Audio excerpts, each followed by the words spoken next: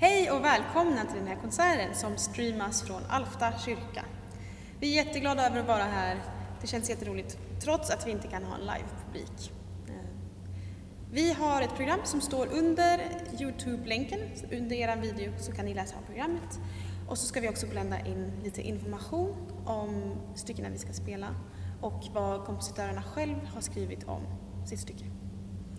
Eh, och den här konserten kommer vara lite, i ett lite annorlunda format. Istället för att spela Fouriers pianokvartett från början till slut så kommer vi mellan varje stycke att eh, slänga in ett modernt nyskrivet stycke från 2000-talet.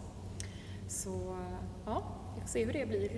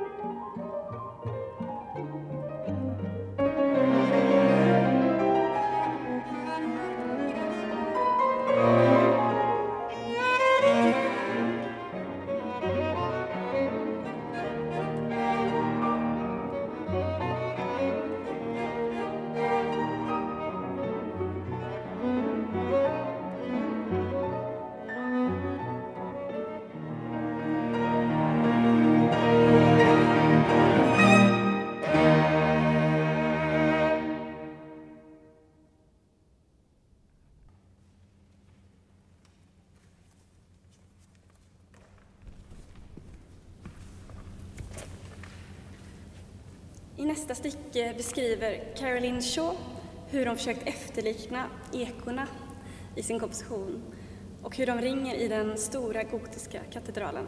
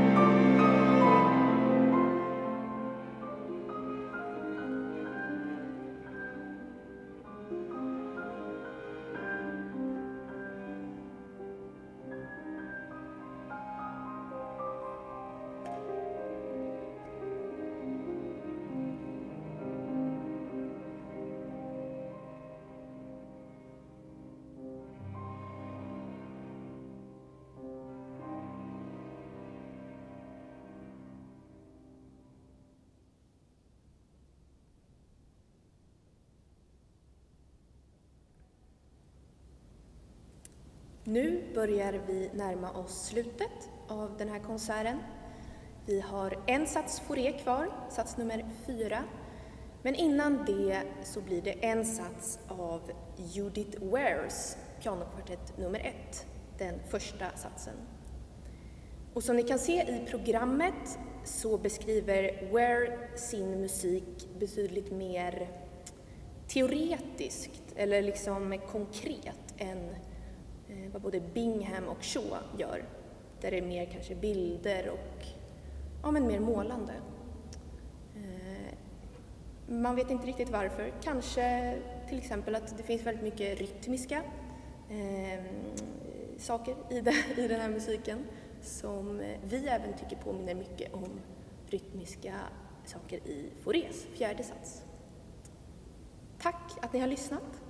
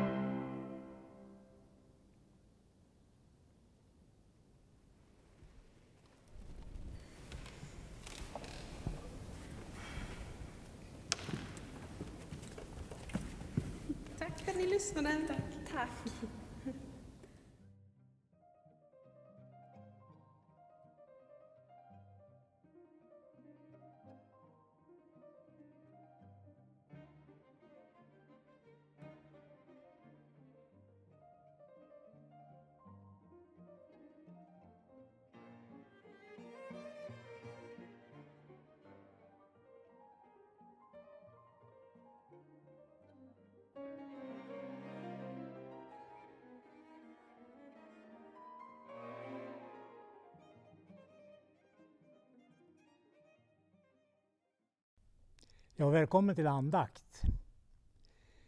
Eh, i- imorgon då, söndag, så är det sjätte söndagen efter trefaldighet.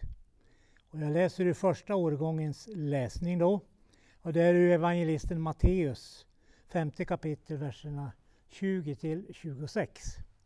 Jesus sa, jag säger er att om inte er rättfärdighet överträffar de skriftlärdas och fariseernas så kommer ni inte in i himmelriket. Ni har hört att det blev sagt till fäderna du ska inte dräpa. Den som dräper undgår inte sin dom. Men jag säger er, den som blir vred på sin broder undgår inte sin dom. Och den som okvädar sin broder undgår inte att ställas inför rådet. Och den som förbannar honom undgår inte helvetets eld. Om du bär fram din gåva till offeraltaret och där kommer ihåg att din broder har något otalt med dig, så låt din gåva ligga framför altaret och gå först och försona dig med honom. Kom sen tillbaka och bär fram din gåva.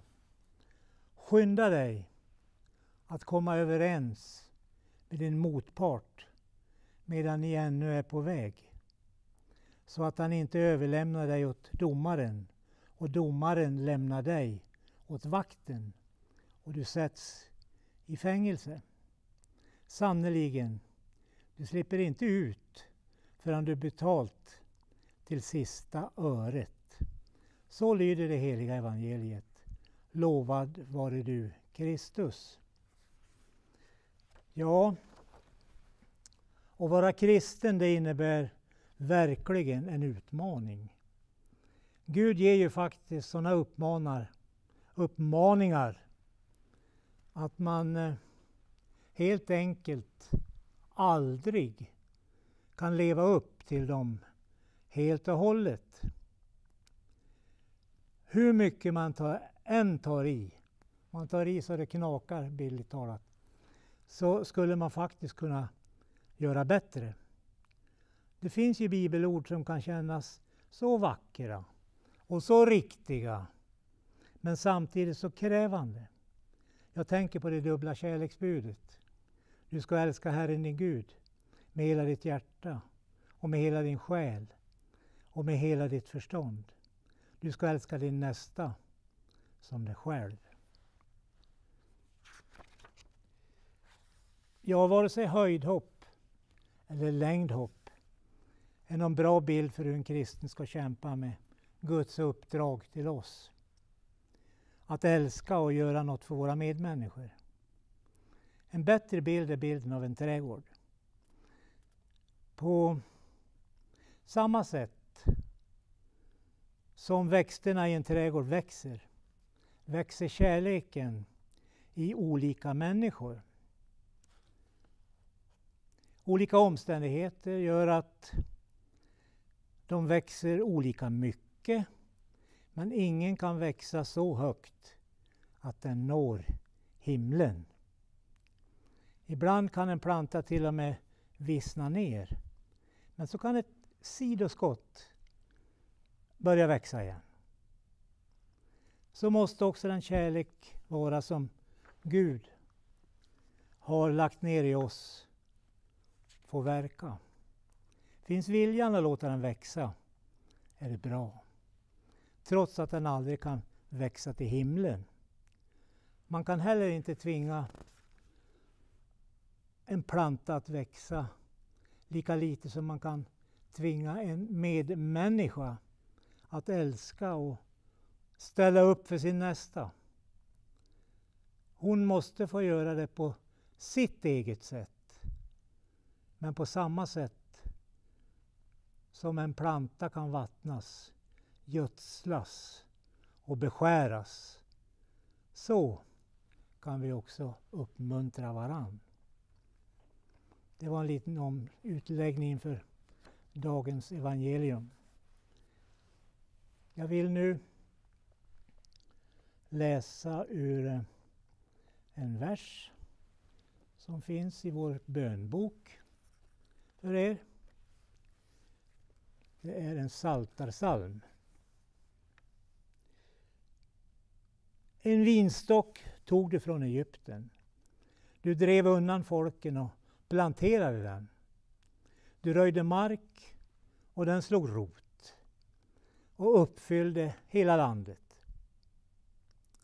Bergen täcktes av dess skugga och mäktiga sedrar av dess grenar. Den sträckte ut sina rankor till havet och sina skott ända till Eufrat. Varför rev du ner muren omkring den så att alla som går förbi kan plocka? Gud Sebaot, vänd tillbaka. Blicka ner från himlen och se. Ta dig an denna vinstock och din ranka i, hand, i din hand har planterat. Vi viker inte bort från dig. Låt oss leva så att vi ska åkalla dig. Herre Gud Sebaot, upprätta oss. Låt ditt ansikte lysa så att vi kan räddas. Ära vare Fadern och Sonen och den heliga Ande, nu och alltid, i evigheters evighet. Amen. Då får vi avsluta vår andakt med att tillsammans då be Herrens egen bön som han har lärt oss. Vår Fader, du som är i himlen. Låt ditt namn bli helgat. Låt ditt rike komma. Låt din vilja ske på jorden så som i himlen. Ge oss idag det bröd vi behöver och förlåt oss våra skulder liksom vi har förlåtit dem som står i skuld till oss. Och utsätt oss inte för prövning utan rädda oss från det onda. Ditt är riket, din är makten och äran i evighet. Amen. Vi ber också tillsammans om Guds välsignelse. Herren välsigne oss och bevara oss. Herren låter sitt ansikte lysa över oss och vara oss nådig. Herren vände sitt ansikte till oss och give oss frid. I Faderns och Sonens och den heliga Andens namn. Amen.